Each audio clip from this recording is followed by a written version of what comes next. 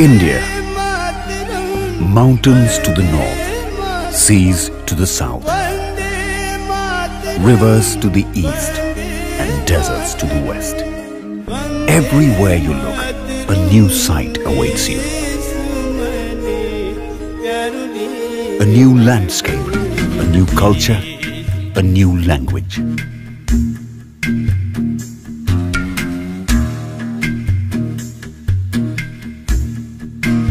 मारुरी जंग मंगल देश मने जरूरी लगे But somehow, amidst all this diversity, we're all held together by this little voice that tells us that we are all one. It's in the sound of the waves and the smell of the rain. It's in every note, every beat of the drum, every stroke of a brush, and in every movement. Art brings us, a nation of a billion people, together. When language and boundaries threaten to separate, art binds us. When appearances pull us away, it refuses to let go. Great art reminds us that our hearts grieve from the same sorrows and our eyes glitter with the same joys. But what induces awe greater than art itself? It's the masters who create this art.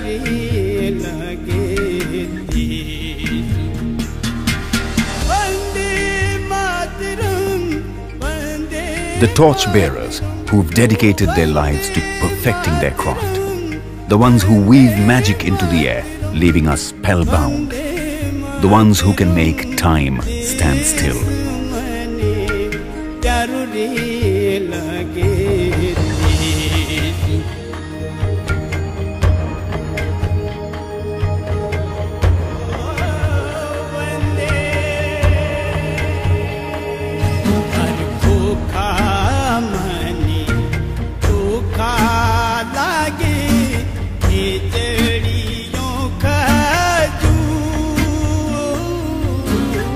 Look no further if you want to peek into our glorious history, if you want to know where we came from. If you're willing to close your eyes and trust them, you are promised an experience that will take you to a world where never-ending blue skies whisper to the beautiful green fields that lay below. A land where time means nothing.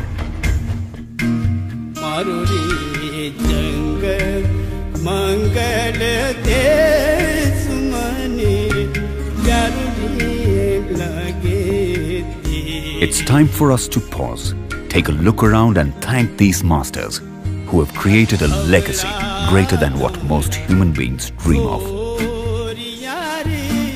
We don't know if we are ever going to be able to do justice to the world they have left us. But we can try. which is why the Serendipity Arts Trust and the Serendipity Arts Festival would like to pay tribute to the great artists, some no longer with us, who have left an indelible mark on India's culture, history and character. A gathering of arts like Serendipity celebrates the past, present and future of the arts in India.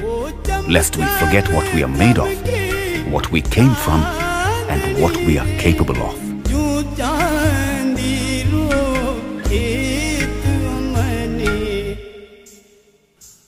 ಯಾರು ರೇ ಲಗೇ